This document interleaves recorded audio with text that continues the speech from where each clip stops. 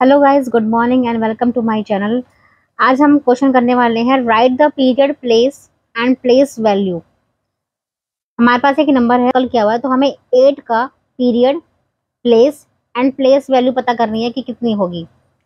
तो मैं आपको एक इजी पहले टेबल बना के दिखाती हूँ.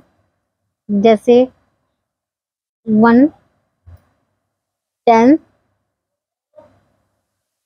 हंड्रेड हमारा फोर फोर कौन से नंबर पे है? वंस पे। ठीक है? ये वंस की लाइन में है। टू कौन से पे है? टेंस पे। सिक्स कौन से पे है? हंड्रेड पे। तो ये तीनों नंबर्स किस पीरियड में आते हैं? ये तीनों नंबर्स जो होते हैं, वो वंस के पीरियड में आते हैं। तो इसका पीरियड क्या हो गया? वंस उसके बाद क्या होता है? थाउज़ेंड फिर आता है टेन थाउज़ेंड। ये जो नंबर आते हैं, किस कौन से पीरियड में आते हैं? थाउजेंड्स। इसके बाद होता है लैख। फिर है टेन लैख। इन पे आने वाले नंबर का पीरियड क्या होगा? लैक्स ओके तो अब एट कौन से नंबर पे है? थाउज़ेंड नंबर पे है। तो इसका एट का पीरियड क्या हो गया? थाउज़ेंड एट का पीरियड क्या हुआ? थाउज़ेंड अब हमें क्या लिखाना है? प्लेस एट का प्लेस क्या है? ऑब्वियसली थाउज़ेंड पे है। ये हम, ये है प्लेस तो एट कौन से प्लेस पे है?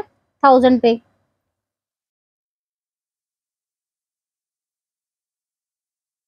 ओके?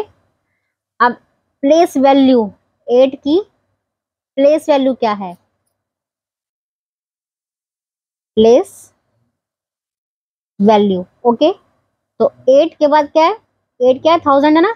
लास्ट के जितने भी डिजिट हैं, ये हो गया ज़ीरो मतलब एट थाउज़ेंड तो हमने यहाँ पे लिख दिया एट थाउज़ेंड इस तरह से हम एक डिजिट की period place and place value निकालेंगे with the help of this table okay and the next question is three zero यानी कि thirty thousand nine hundred fifty two इसमें आपको ज़ीरो के period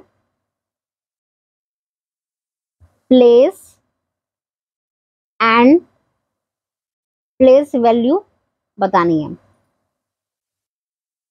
इसका आंसर आप मुझे कमेंट बॉक्स में लिख के बताइए। फास्ट फास्ट फास्ट क्विक और आपको ये टेबल की हेल्प चाहिए तो आप ये देख सकते हैं। लेट्स सी कितने लोग इसका सही आंसर देते हैं।